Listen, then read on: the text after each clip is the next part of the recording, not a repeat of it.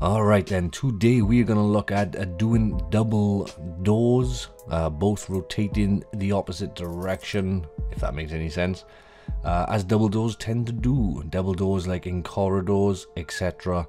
Um, Alright, let's do this. Alright, so, uh, leaving off where we left in the last tutorial, uh, doing the single door, if you remember the single door when you go up to it you press F it rotates open. But what if you want double doors like you get in a uh, corridor like in hospitals and whatever? We'll slide out of the way. And now we're going to do double doors. Alright so let's uh, move swiftly forward. Let's create a blueprint class and we're going to call we're going to make it an actor. And we're going to call it BP underscore uh, door double. Because the other one was called door single I want a capital D there. Door double. Alright so let's open that up. Oops it's opened on the wrong monitor. Let's bring it over here. Right so there it is. We're gonna add ourselves a static mesh. Static mesh. And we're gonna call this door R. Door R. For right and then we're gonna select the default scene again or just deselect everything and make another static mesh called door L for the left door. Um, while we're here we will bring a um, collision box or type in box collision and call this trigger. Oops I made a mistake. I've it's it's linked to the door. We want to unattach that by dragging it up to default root scene and clicking attach. So make sure they're all kind of in line. They don't need to be parented to each other. And while we're here as well we will do a text render. We'll use that later on and we'll call this oh, I did it again look. Uh, player tip. I always call it player tip. And again I have to drag this up and to get it right. So that's done. So let's get these meshes in right. Door right Right, we're going to go over to the static mesh box and click door. And we get SM door. You have to have the starter, um, starter, what's it called? The starter stuff enabled or inserted into the folder when you start the, your file. Starter Content, that's the one. Right, so there is a door. Obviously, it's the right door. Oh, I tell you what else we can do is bring in an arrow. So we know which way we're looking at. Oh, I done it again. Let's just drag it up and then attach. Right, so this is the forward then, right? So that door is on the right, which is fine, but it's the wrong way around. So let's rotate it. Uh, on the rotation on the Z, we're going to do 180. Oh, I, I had the arrow selected. Sorry, undo that and select the door on the right again. And we're going to click 180 in the Z, rotation Alright, so now we want to move this across. Let me change my snapping grid to, say, 10. So that this side is in line with this part here in the middle. So right there. Lovely. So now the location should be on the y-axis minus 90, which is fine. So that is where the handle should be. Let's go to door L, do the same, get the static mesh, door, and this one needs to be dragged over 90 to 90 on the Y. So this one is moved negative 90. This one is 90. So the doors are in the uh, the handles are in the middle where they should be. That's how set of double doors. Let's um, move this box up. Let's make your box big enough so that um, your player will uh, interact where you know the space I'm in my own world right? Right that'll be big enough. So when your your player walks into that box they'd be able to interact with the doors. That's super. Let me just get that player tip for now and drag it up the top. Put about about there. Um I'm gonna center align the player tip. I'm gonna, gonna call it um, press F.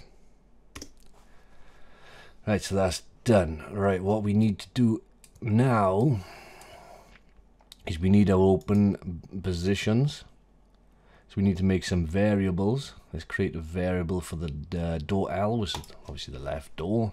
And we're going to call this door L, um, open position, or something that makes sense along those lines. And we're going to change it to a rotator.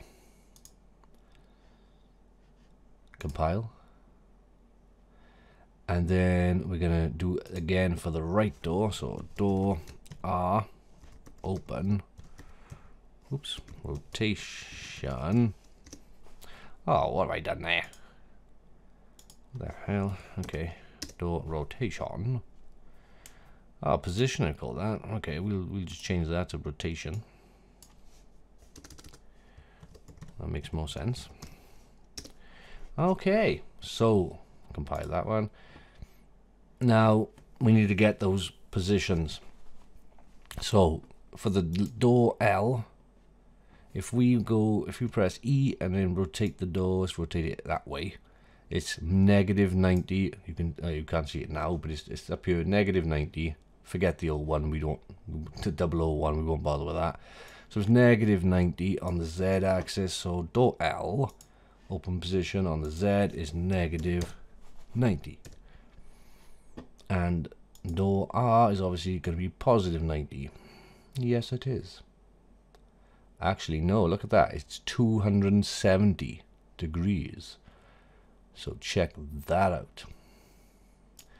All right, so door R, because we rotated it to get it into that position, obviously it wound up being 270 degrees. Right, compile. In the event graph, let's get rid of that.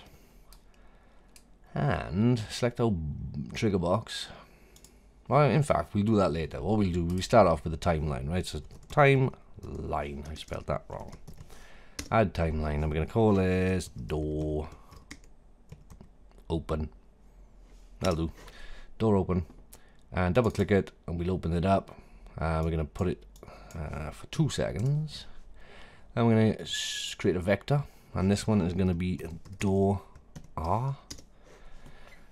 And we're only using the Z axis. We can lock off the X and Y and we can add a key to Z and go 0, 0. And then we can add another key to Z and put 2 and um, is it negative 90? Door, what is it? Door R. Door R.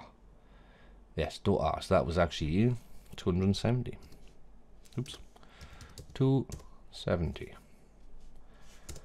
Alright, so let's make another vector.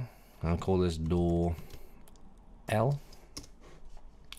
Lock off the X and Y, and on the Z, add a key, and then make it 0, 0.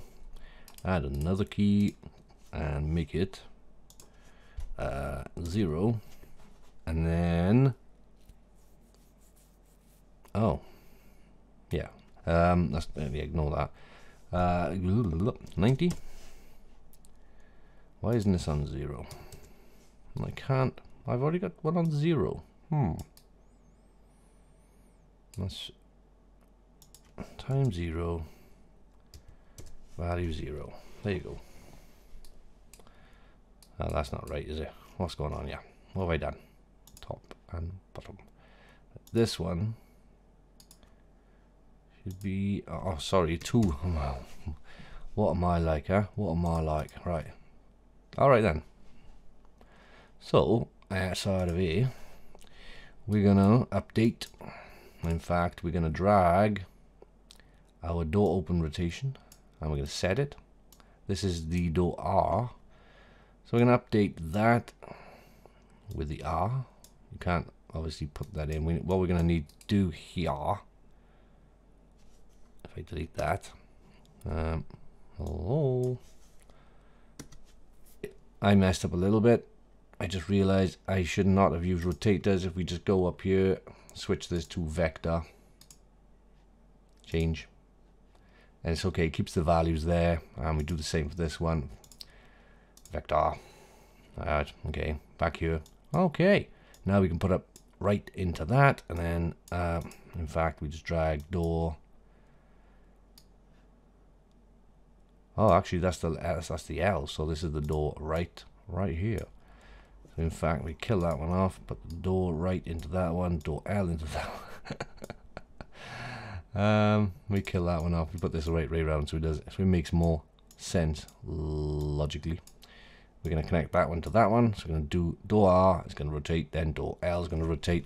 Now, although they're going to do them in uh, technically separately, one after the other, it's going to be so quick that you won't even see it. It'll be timed exactly the same.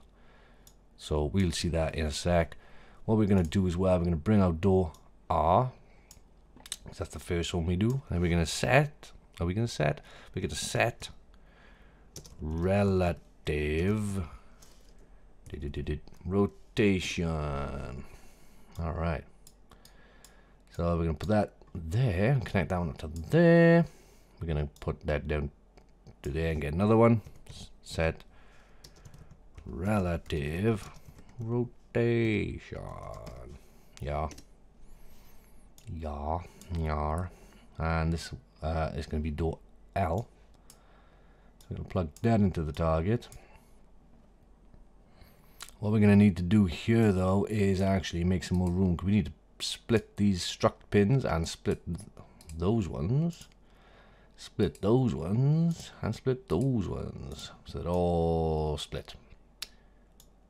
Happy days. And we just want the z-axis bump and the z-axis bump. Okay.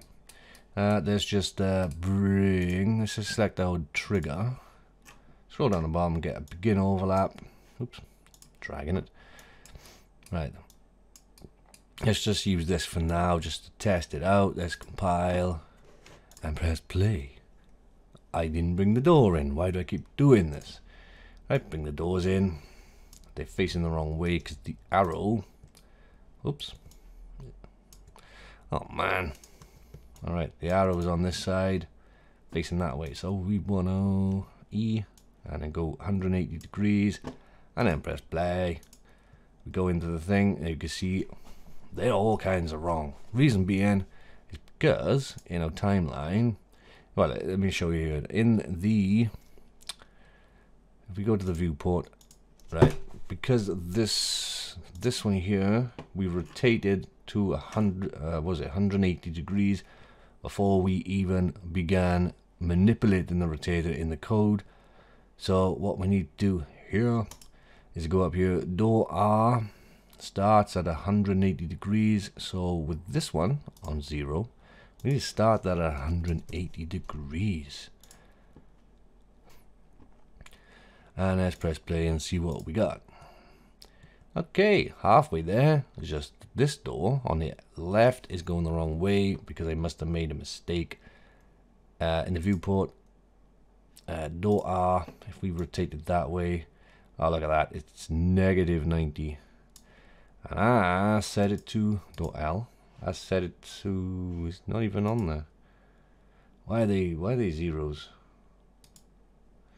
Well, that's strange. Uh, I set it to 90. Let's go back to the thing.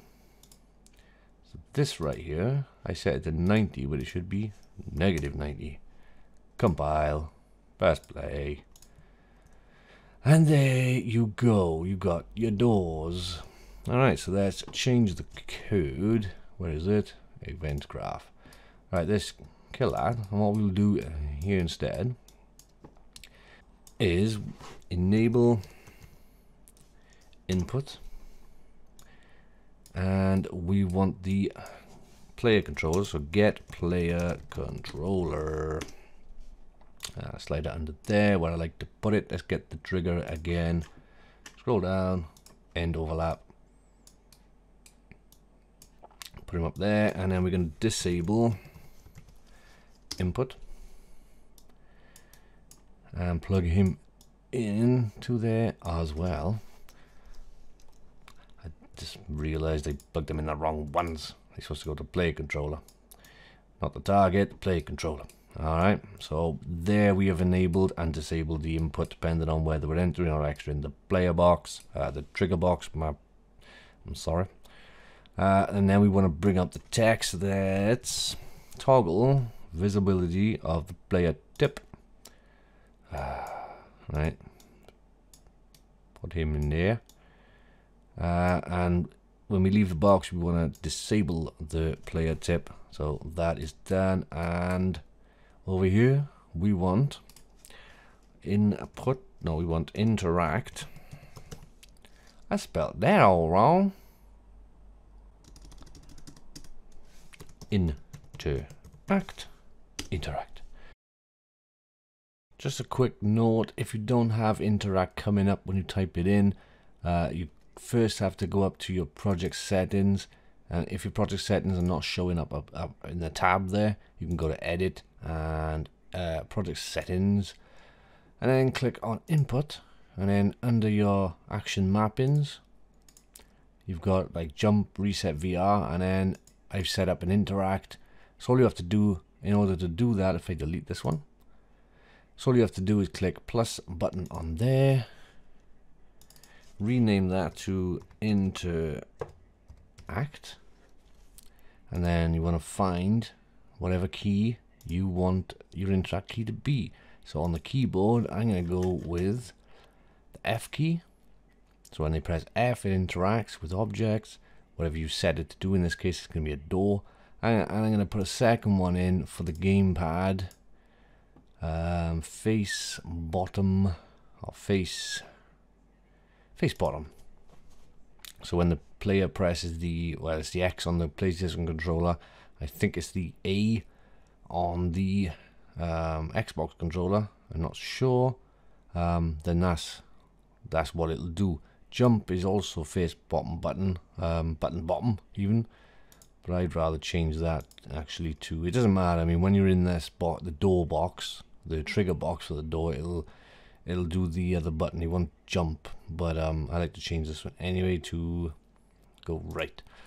Anyway, so that's how you set up an interact. You just create a new one there and do what I just did, and it was, and then get back to the tutorial. Event input interact pressed. We wanted to play, and um, in fact, what we want to do is flip flop this flip flop. So leave that there, put that there, and we want the B to go into the reverse. Happy days. Press play now. Go into the box. I've done that again. I always do that. So I got the text going the wrong way around. That's a weird noise came up my throat right then. Alright, so press F, it opens up. Nice, press F closes and you can toggle them at any point during this process and they will open and close. Nice. So let's just change over here, text, select out, select out text and then go to visible, click that off. So by default it's not visible and then when we walk up to it, it is visible and we will open and close the doors. Happy days, that's it. Um, yeah, that's about it really. Um, if, uh, yeah, well, there we are. That's it. I don't know what else to say. There's our doors. Doors work. Press F, they open up, go through. Press F to close. Excellent. Right. Happy days. I'm out of here. Uh, see you in the next one where we will be looking at slidey doors rather than rotating doors, which is basically the same thing except you've manipulating the location of the... Oh, what we do? I don't want to be looking there. I hate my mouse, sorry. Um, instead of rotating the doors, we want to be sliding them using the rotate, um, the location of the, I think it's the Z no, x-axis probably. Um, no, I think it's the y-axis. So manipulating the y-axis rather than the Z rotation. Anyway, I'll show you that in case you're not sure yourself uh, in the next video. I'm going, I'm rabbiting on. Bye.